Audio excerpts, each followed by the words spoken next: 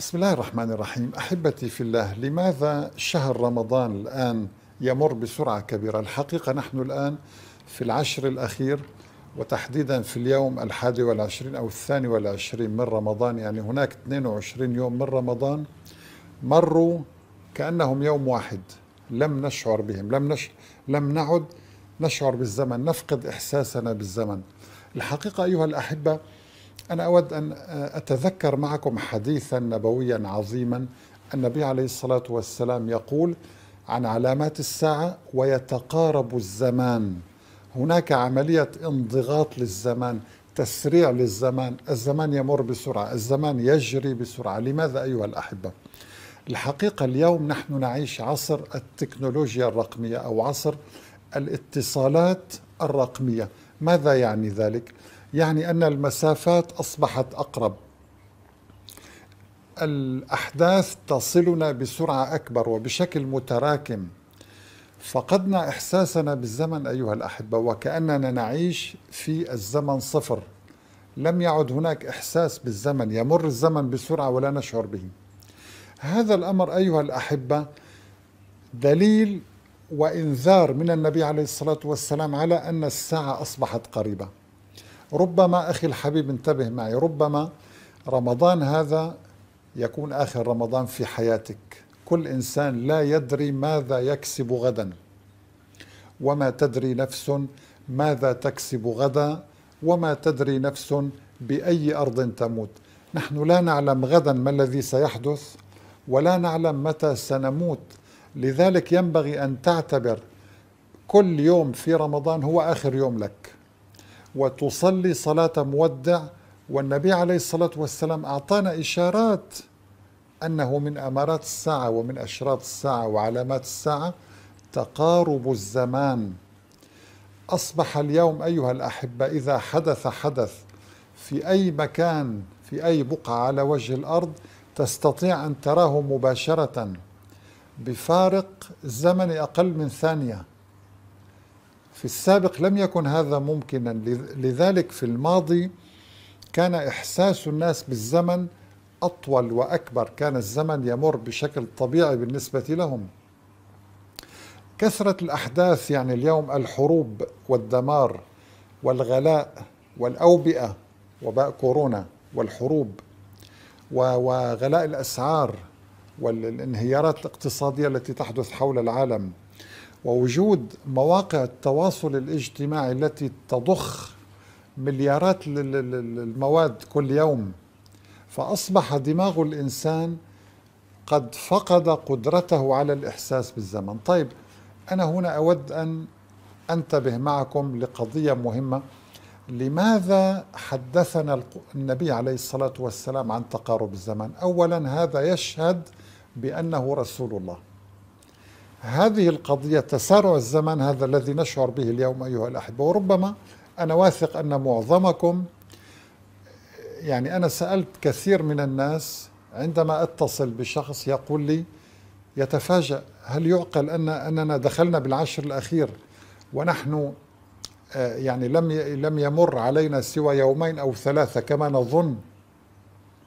لم يعد هناك طعم لهذه الأيام. لم يكن لم يعد هناك إحساس بالزمن لهذه الأيام. هذا الأمر أيها الأحبة لماذا أنبأنا عنه النبي؟ ليحذرنا. ويحذرك يقول لك احذر أيها الإنسان القيامة تقترب. كثرة الحروب وكثرة الفتن وكثرة الكذب وكثرة المال وكثرة الوباء وكثرة الزلازل وتقارب الزمان كل هذه من علامات اقتراب الساعة. ونحن نرى, نرى اليوم هذه العلامات مجتمعة. كل هذه العلامات أخي الحبيب نراها اليوم مجتمعة أمامنا. لذلك أفقدتنا قدرتنا على الإحساس بالزمن وبالتالي أصبحنا نشعر أن رمضان يمر سريعا ولا نكاد يعني آه، الشعور يتوقف. لا نكاد نشعر أن هناك مثلا أن رمضان يقارب على الانتهاء. لذلك أحبتي في الله أنا أنصح كل أخ حبيب أن يستعد ليوم القيامة. تخيل فقط أخي الحبيب أنك ستلقى الله غدا وهو أجمل لقاء في حياتك. بالنسبة للمؤمن بالنسبة للكافر والملحد والمشكك واللاهي عن ذكر الله والذي شغلته الحياة الدنيا والذي يأكل أموال الناس بالباطل هذا الإنسان أكيد لن يرتاح بلقاء الله. سيكره الموت يكره لقاء الله يكره لقاء الملائكة لحظة الموت. لذلك ينبغي أن تستعد للقاء الله ولقاء الله. الله ماذا يريد منك عندما تلقاه؟ يريد منك العمل الصالح يريد منك الثقة به والإيمان به ويريد منك أن تعمل لأجله. ماذا نقدم لله؟ الله ليس بحاجتنا أيها الأحبة وهو الغني عن عباده سبحانه وتعالى. الله يريد منا أن, أن نفعل الخيرات لمصلحتنا نحن. يريد منا أن ندعو إلى الله لمصلحتنا نحن وهو لن يستفيد شيئا لأن الله سبحانه وتعالى غني عن العالمين. إن الله لغني عن العالمين. فينبغي أن تسابق بالخيرات تسارع بالخيرات. تدعو إلى الله. ومن أحسن قولا ممن دعا إلى الله. لا تجلس وتقول أنا هذا الأمر لا يعنيني. أنا الذي يهمني فقط بيتي وأسرتي ونفسي. لا. أنت ستغادر هذه الدنيا وحيدا.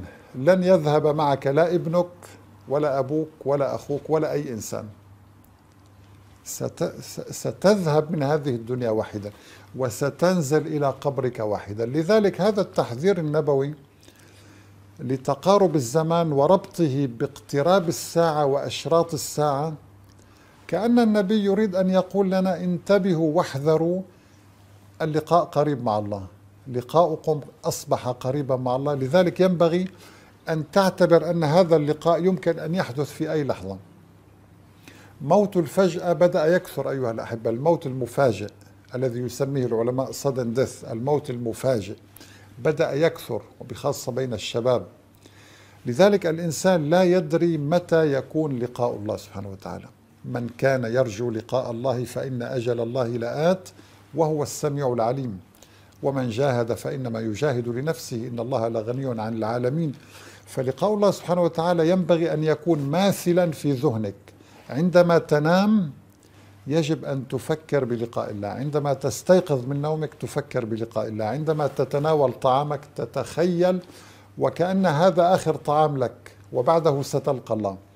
ستتحول همومك ومشاكلك إلى لا شيء إلى فرح إلى سرور. لماذا؟ لأن الإنسان عندما يتلهف للقاء الملك سبحانه وتعالى سوف تحل كل مشاكله وتتحول هموم الدنيا إلى لا شيء.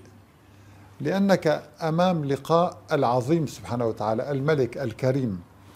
سيختفي الظلم وقتها ويختفي المرض وتختفي حاجتك للناس يختفي الفقر. تختفي هذه الدنيا التعيسة المظلمة. آه، تختفي حاجتك للناس. كل شيء سيختفي ستختفي المخاوف. ويختفي الحزن وسيبقى شيء واحد هو الفرح بلقاء الله والبشرى ويستبشرون بالذين لم يلحقوا من خلفهم. يستبشرون بنعمة من الله وفضل.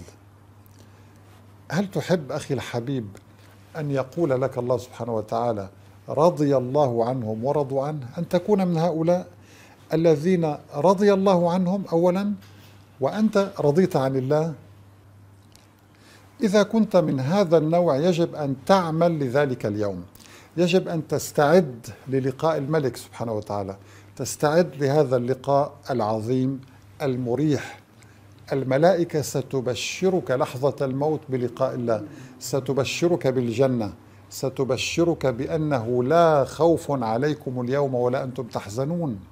وبالتالي أيها الأحبة انتبهوا إلى موضوع سرعة مرور الوقت وتقارب الزمان ونحن في رمضان 2022 الحقيقة آه، حقيقة أنا شخصيا لم أشعر أو لا أكاد أشعر بمرور الزمن بسبب كثرة الأحداث وكثرة المعلومات التي تدخل إلى دماغنا كل يوم وكثرة المشاكل والهموم من حولنا. لذلك أيها الأحبة ثلاث أشياء أنا أنصح بها أختم بها هذا.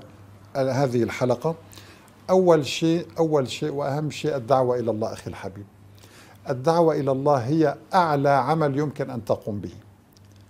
ومن أحسن قولا ممن دعا إلى الله وعمل صالحا. إذا أفضل من العمل الصالح الدعوة إلى الله بل هي على رأس الأعمال الصالحة. لماذا؟ لسبب بسيط لأن نبيا عليه الصلاة والسلام وهو المخلوق الذي سيكون له أعلى منزلة في الجنة. أعلى منزلة هي الوسيلة لا تنبغي إلا لرجل واحد هو النبي عليه الصلاة والسلام. لماذا استحق هذه المنزلة؟ ما هي المهمة التي جاء من أجلها؟ مهمة واحدة الدعوة إلى الله. جاء داعيا ومبشرا ونذيرا. ادعو إلى سبيل ربك بالحكمة والموعظة الحسنة وجادلهم بالتي هي أحسن. إن, الله هو أعلم بمن ضل عن سبيله. وهو أعلم بالمهتدين. الدعوة إلى الله رقم واحد. الشيء الثاني أيها الأحبة والمهم جدا في أواخر هذا الشهر الفضيل عشر الأواخر صلة الرحم والبر للآخرين والإحسان. لأن النبي عليه الصلاة والسلام يقول أحب الأعمال إلى الله الصلاة على وقتها. طبعا الصلاة هذا شيء مفروغ منه. كلنا نصلي إن شاء الله. والشيء الثاني بر الوالدين. فبر الأقارب والتواصل مع الآخرين والإحسان وكثرة التصدق في هذا الشهر الفضيل هذا عمل عظيم جدا. إياك أن تنساه. قبل أن يمر هذا الشهر وربما يكون آخر شهر لك آه، من أشهر رمضان وأنت لا تدري. لذلك اغتنم هذه الأيام المباركة. الشيء الثالث وهو مهم جدا أيها الأحبة احرص على أن تتدبر القرآن. تدبر ساعة خير من عبادة سنة وتفكر ساعة خير من عبادة سنة التفكر في القرآن هذه الآيات تفكر فيها أخي الحبيب. لكي أول شيء هو علاج لك.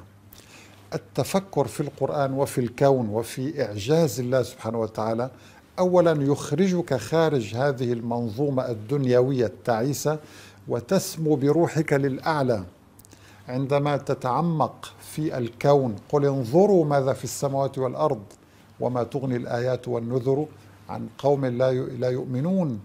عندما تنظر إلى البحار والجبال وأعماق البحار وهذه الكائنات وكيف أن القرآن يتحدث عنها وتقول سبحان الله سبحان ربنا إن كان وعد ربنا لمفعولا تقول هذا الكلام وتخشع لأن التدبر هو الطريق المثالي للخشوع. والخشوع هو جزء مهم من التقوى ومن العبادة أخي الحبيب. لذلك أرجو ألا تنسى هذه الأعمال الثلاثة بخاصة أننا في العشر الأخير.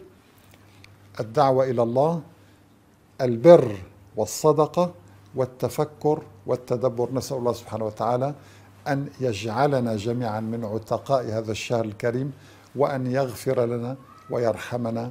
إنه سميع قريب مجيب. وآخر دعوانا أن الحمد لله رب العالمين والسلام عليكم ورحمة الله تعالى.